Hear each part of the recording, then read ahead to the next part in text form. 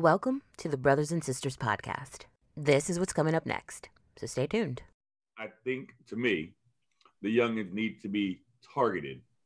You know, one of the biggest disagreements I have with with some of the young folks now is you can't just resist just to resist. You need to target your anger and find whatever it is that you want to make better and make it better. Don't just say it's wrong and then just sit on the sideline. You want to know why shit doesn't happen? Well, that's why it doesn't happen. Because you say, okay, this is the problem, but then you're not willing to put the work in. You expect someone else to do the work for you. Megyn Kelly, who the griot uh, said was on Negro Patrol, which I which makes me laugh every time.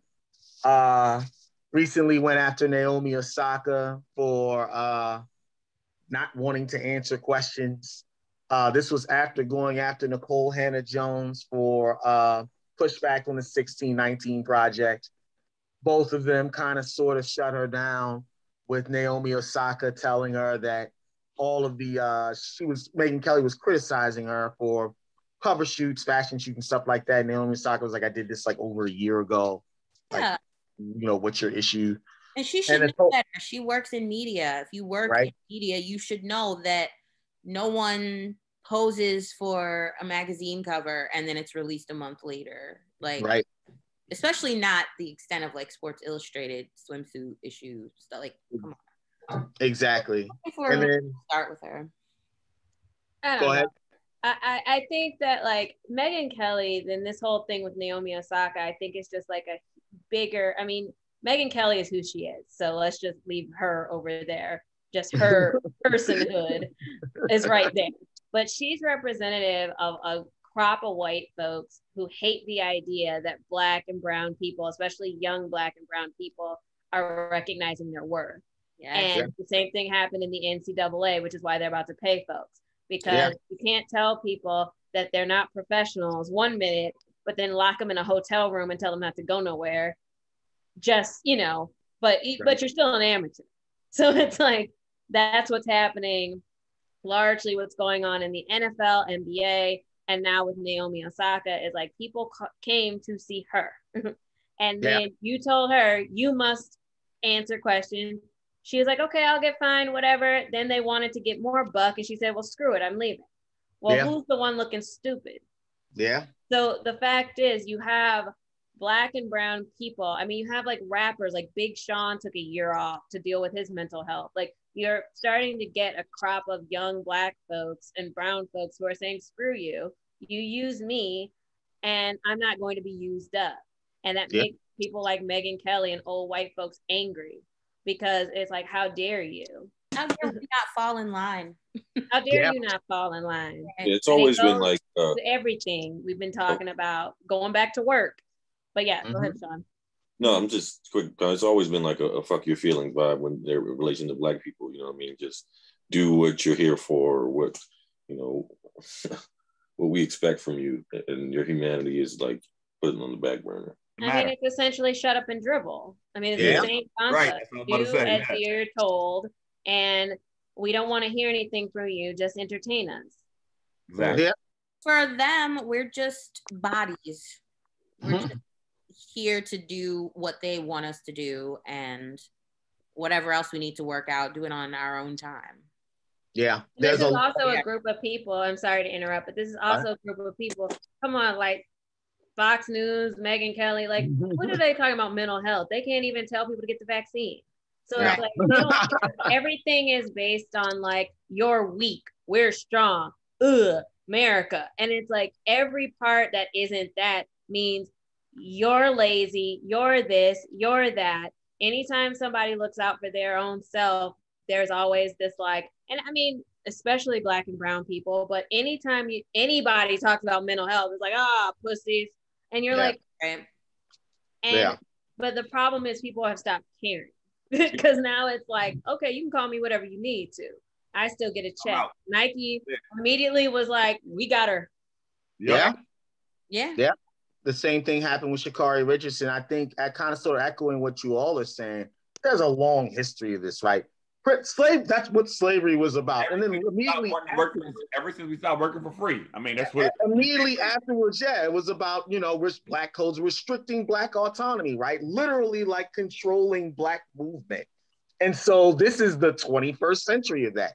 And like like CC was saying, like Autumn was saying, like Sean was saying, now it's like, you know, people are like, fuck it. Like, what are you gonna do? Like, I'm I'm still going to be profitable I'm still going to do what it is that I'm going to do. And there's yep. nothing you can do to stop it. And I think that's what's upsetting them. Like yep. the fact that, because she even talked about that. She's like, oh, like people saying I'm a bully. How am I bullying the most highly, the highest paid uh, female athlete in the world or whatever? The fact I was happy to hear. I did not know that. Look at her as human. Like, yeah. Like the Megyn Kelly shit, like, oh, you signed up for the, the, the monarchy and like, what do you expect? Like, and she said like all this stuff that she's doing is like so she could buy her mom a house. Like we don't know what type of fame Naomi Osaka anticipated having. Maybe she's gonna blow up like this, and she's not ready. And she's a she's young. They like they feel like if you're black and you somehow elevated in success wise or status wise that should be payment enough. Shut yeah. the fuck up and do, you know what I mean? Like you're lucky you you're make not too much money to have mental health issues. Yeah, you're lucky you're yeah. not one of the other ones. Oh, that part. Right. yeah. Be grateful. Shut up. Be grateful we let you do this. Hmm. Yeah, exactly. I wrote about that. I, I always take Sean's line for that. I literally wrote about that. It's like you, you know, you should be grateful. You could be swinging from that tree over there. You're yeah. not. So, like, yeah, you're not. So be good. She went after Nicole Hannah Jones also in the 1619 project specifically. Nicole Hannah Jones responded with, I'm glad you stopped pretending to be a journalist. Megyn Kelly, no, she got her twice. Megyn Kelly then responded with, Oh, you were panned by, you know, historians to the left and right for your inaccuracies. Nicole Hannah Jones then responded, uh, you're right. I should continue to do hard. I should do hard hitting pieces like Santa Claus is white, and then that just ended. and, and so there's a. How flippant was she when she said that? She, he's white. He just says. Yeah, yeah that was hard. like she was like, he's white. Sorry if any kids are listening, but how can imagine? Sorry, he's white. the same as people who get upset about like any type of fictional character that's not the race sure. they expect them. Like and the genders, because now we have issues with Mr. and Mrs. Potato Head. Yeah, I so, saw I mean, that. Race, gender, of fictional things that don't exist. Like right. really, Mr. and Mrs. Potato Head. Like, come on, they're. How could you not do that? have eyes. How could you like do that? Wait till they figure out that the Smurfs had no parents. I mean, it's not going to be. I mean, yeah, it's like, one girl a bunch of fathers homes. I mean, how hard is that? um, yeah, but she's got particularly her, and actually, you kind of sort of see it on the proto left. And I'd be interested to hear what you guys are saying. Bill Maher is actually doing a lot of this now, also, kind of sort of poking at um, how can I put this? Oh, no looking at racial issues. Mm-hmm. He's flipping too. He, he, annoys me in that way too. He she he had her on. They were key, yeah. keying together, like oh, they, everybody yeah. to chill the fuck out. Like it's yeah. like that was their whole conversation. Because that's yeah. what I mean. Um, this is probably not going to sound extremely intelligent, but they're jerks. jerks, jerks don't want to stop. And when jerks get together, you know, they're just like, oh, what's the big deal? Like, okay, here's fine. the big deal. Here, here, here's, here's the big swing, right? the problem is if it makes them uncomfortable, they don't want to hear about it. Yeah. Right. Yeah. And, and oh, yeah, because they're fragile. They like to talk about everyone else's fragility, but it's like, no, you're really fragile. Everybody's no. Somebody says something that you don't like, you can't take it. That's it. But you make a living out of criticizing everyone. So right. Only only white people are deserving of empathy in times like when they're dealing with mental health and shit. And yeah, I mean, Donald Trump, Donald Trump treated so unfairly. but the opioid crisis. What about yeah. the crisis 30 years ago? Yeah. So right. different, right? Which many of us grew up and we were children during that. Exactly. yeah. Right. Yeah. And no social, no no programs to, to help no us programs. Out. I, Can we, just, let's say just say no and dare. We had just Baltimoreans here, all you Baltimore folks. I grew up in Detroit, so I know a little bit about. it. I think go. we have something in common. yeah, there we go. Can we ignore the profit motive in all of this, though? Right, this stuff sells. There's a there's a reason why it's happening, and there's another point, and I like to get you guys' opinion. There's a there's a cadre of black academics slash what I call blacklists that are kind of sort of co-signing on this, uh-huh. that are giving it, you know, legs, namely John McWhorter, Glenn Loury, Kmele Foster. So is this like, you know, you blacks need to just take what you're given? And like, yeah, it's you know, it's better than it was. I think that's another key point also. We've gotten better, so it's what it is. There's money to be made here. Like people are getting shows, people are selling books right? It's a it's another kind of sort of profiting off of black pain. It's a. It's is this capitalism? Is it racism? Is it both? Both, I would think. Both. All of it.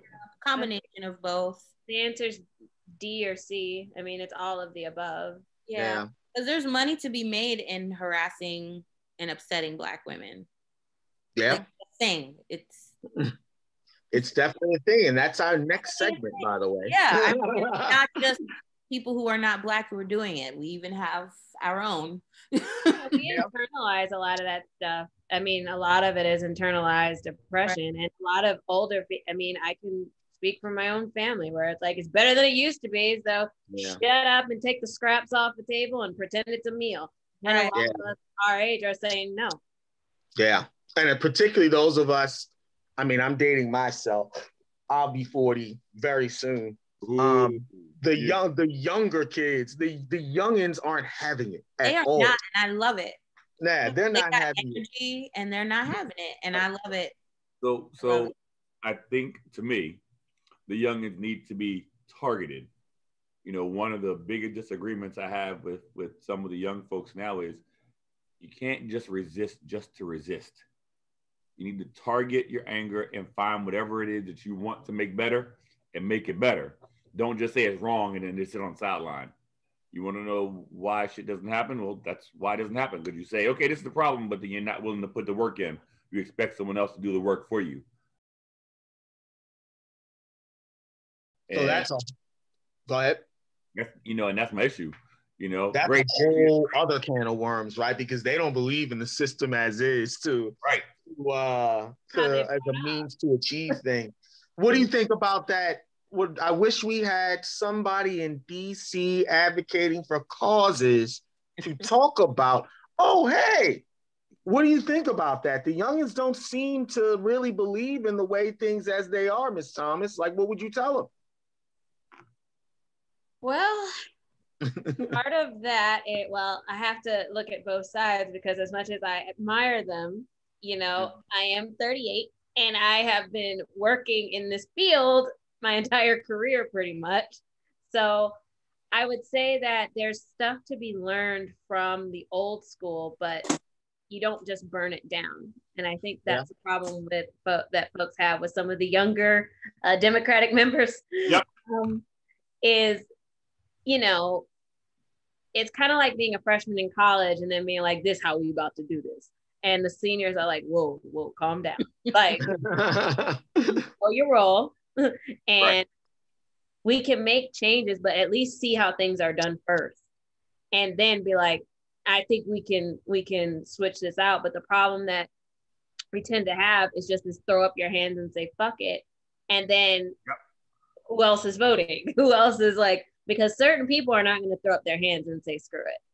Like yeah. and they're the same people who vote day in, day out, and are making the laws so that you can't. So the fact is, I would say learn a little bit about how the system has worked. And please, you're not going to get arguments from me saying that we don't have some archaic stuff. Looking at you, Senate. But like, mm-hmm. I I do think that there's something to be said about actually knowing about something before you then try and burn it down or and or change. Right. Weren't we just applauding Naomi Osaka? Cece, you pointed out Big Sean for kind of sort of going their own paths, and we'll I mean we'll close out on this. Um, is there is there justification? Is there warning of being like, hey, we don't do the things? Because I'm sure Naomi Osaka, I'm sure Big Sean had people who were like, this isn't the way things are done. This is how you want to do it.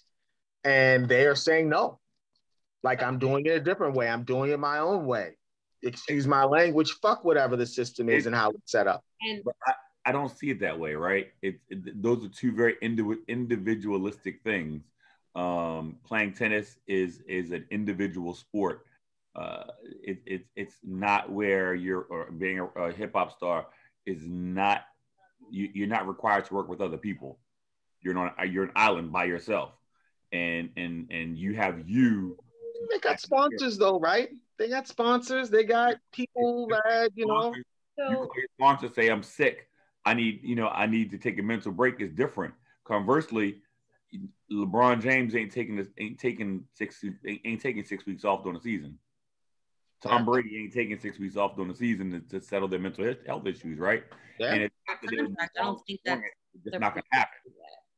Yeah. She didn't take she didn't take the match off. It was the questions after, right? It wasn't right. the actual yeah. off actually doing her job. So I think there's a couple things like kind of to bounce off what Walter was saying. I think one, in the vein of what I was saying, Kwasi, about um, about actually learning about the system before you mm-hmm. go in and change it. Mm-hmm. Naomi Osaka, we didn't know who the hell she was, wasn't like not talking to the media.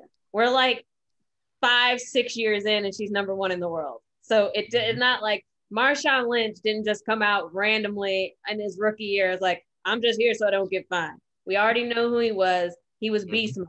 Like we didn't even say his name. His name was beast mode. Like mm-hmm when the Milwaukee Bucks said we're not we're forfeiting this game after you know another murder, they're the Milwaukee Bucks. so it's like now they are champions, but like at the time they were still Milwaukee Bucks with Giannis. So it's mm-hmm. not like these are random people who just show up. It wasn't some guy on the bench who's like, I'm not talking to the media. Well, we don't care about you. Right. But the thing is, like, that's also about learning the system. These people didn't just jump in and say, I'm about to shake shit up. Naomi's the number one player in the world. or mm-hmm. top five. Right. Mm-hmm. About to play in the Olympics. She didn't just show up. She learned what she what doesn't work for her. and She said, screw this. But again, she had to play the game a little bit first. And now she's saying, I but I sell the tickets, I make the rules. Marshawn Lynch has more than enough money to give you for his fines. yeah. So that's what I'm saying. It's about learning what you can do. Now you are in a place where you can affect change. Now they're mm-hmm. talking about changing the rules in tennis. Yeah. Yeah. About like talking to the media. And now we're wondering, are these post game like interviews that interesting? but but Naomi's argument wasn't about not doing the interviews. Her problem was they're asking her questions not about tennis. That is true. That yeah. was the problem. Right. She's had to withstand that until now. But see, the other part of that, you know, the hardest part is, and I'm, I'm going to play a little bit devil advocate here because obviously I'm I'm with Naomi on this one, but she invited a lot of the questions, right? Her persona, her she used her star power to highlight social injustice, right? And if you're going to use your your public persona to do that, when you ask questions about it, I don't know that you, you should be able to run away from it. It's fair. That's fair. Running Away. So she always I, wore. She would always wear, yeah. wear her Black Lives Matter, or she would wear, um, say her name, say his name, whatever it was. She would always sport it, and someone, and when she would get asked about it, while I understand it's not on a narrow scope of tennis, it's still something that you're purporting as an athlete. So, so what I yeah, oh, go ahead. Sorry. So why should so why shouldn't she answer the questions about the things that she's doing? But when she was at the US Open and she was wearing the like I can't breathe you mm-hmm. know, mm-hmm. she was answering those questions. Yeah. I think what she had more of an issue with is like perfect example. Like after um after the Suns lose in the finals, you're gonna ask Chris Paul, how do you feel about this right now? He wasn't fucking with that at all. Exactly. And then I don't not to get too far into basketball, but then like the night or the you know the game before the last game, Devin Booker and Chris Paul are sitting next to each other. It's like, Devin, how do you feel about the fact that Chris Paul didn't do what he was supposed to do tonight, or some version of that? And they were all like, "What?" Yeah, you right. gotta hit the Bryce Harper clown question, bro. That's a clown question, bro. that's ridiculous. And this is what people are supposed to sit and talk about after. Like these type of questions. One thing to be like, "Hey, you were a little off," but what kind of that is messy. That's not even journalism. That's messy. It's it's it's it's certainly not a a fun conversation to have. You're part of the team that busted their ass, had the best record in the league, got to the finals, and lost. Second best. Utah the best record. They were like a game behind, though. They were right there. They, uh, and and and it's it's a highly emotional time, and obviously no one is going to have a rational ability to make even asking the celebrating team a question while everyone's know, drunk and they're drunk already. You know, it's it's an impossibility. So so the question is, I don't think that the post game interviews are bad. I don't think post match interviews are bad. I think those questions are important because to me, as an athlete, as a coach, is is when you fail, when you're not successful, it shows your character, right? It says you know that there's more to be done. You know, there's one place you can fail in life, and that's in the gym, right? So, so, so if if if you got millions of people watching these games, you got millions of children watching these games. How you respond to these questions are going to impact how their lives are going to be shaped, right? And and so so that matters. It matters. I agree to an extent, but you let's can we agree that there are some questions that are just literally about journalism, and then there are questions just to create drama. Sure. Sure. Sure. You can make it. you can make the argument that. Go the ahead. question I just said about Chris Paul and Devin Booker as they were sitting there, the looks on their faces told you that was legit messy. It was a messy question, but was it a legitimate question? Devin, how do you feel about the fact that Chris Paul only dropped 16 points last game when he's been dropping 29 the entire series? What do you think happened? While he's sitting next to you. While he's sitting there? Yeah. Listen, I think he's trash. Would that be a good answer? Hey, that- listen, And Chris yeah, Paul, I mean, why don't you ask him if he's sitting that, that would be a response So, so that so but but he asked him how do you feel about it? Not how did he play? Not what his performance was. It was how do you feel? Chris paul can't answer how he feels. Yeah that gets messy though. This i mean I I, this, this is a reason why this is a reason why you have media why you have media training, right? Because right. these types of questions aren't legitimate, but come. are still within the purview of fair and foul, I guess. And but again, guardrails on those questions. No, we're, get, we're getting into you know journalism and you know journalism as a business and what creates clicks and likes and stuff like that. So like, I we're probably a little bit further away from where we were. But let's but, say, can I ask one question? But, have they ever done that with uh, Brady and Gronk? Yes. When? Yes. Have, when they when when they lost to the when they lost to the Giants the second time. And they said, "Why Brady, can't?" How do you feel that Gronk or vice versa?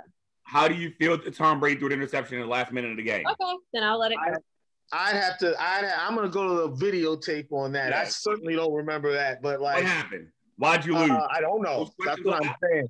I just don't remember. There, there's certain reverence that certain. Yeah, I feel like journalists know better than to ask a white man like Tom Brady a silly question like that. you knew where I was going with that, Sean. you knew where. we have to see. We'll get back to that though. But yeah. So anyway, um, I just felt it was interesting. AJ, we, I sent you guys are. There's a long list of Megyn Kelly's greatest hits. Yeah. My, my favorite one. oh, my favorite one, Michelle Obama as Barack's baby's mother. That was great. Like that is so respectful. Like I don't yeah. even. I can't even. Okay. Like she's yeah. not. She is on my to be ignored list. There are certain. Yeah, and I think Autumn. I think that's why this conversation probably diverged into something else. I don't acknowledge her existence. She has no value as far as I'm concerned. So like. It did. She had some great yeah, things like, to all say. Right, but... Kelly doing what she does. Just whatever. But no, it stayed related though, because we talked about journalism, right? Yeah. That that's what she posed as. We stay that lane. What's legit and what's not. Uh, to The people He's not a journalist. Yeah, and that's what I was about to say. Like, are we just calling anybody with a press pass a journalist? Yes, that's what, I mean, that seems like that's what journalism has turned into. I mean, it's just like getting the most salacious thing. mhm. Yeah. No, you won the championship. You're gonna have sex tonight. What? Like these are the kinds of questions that we're borderline getting at this point. And it's like, I don't really want to know this. Like, For sure. For sure.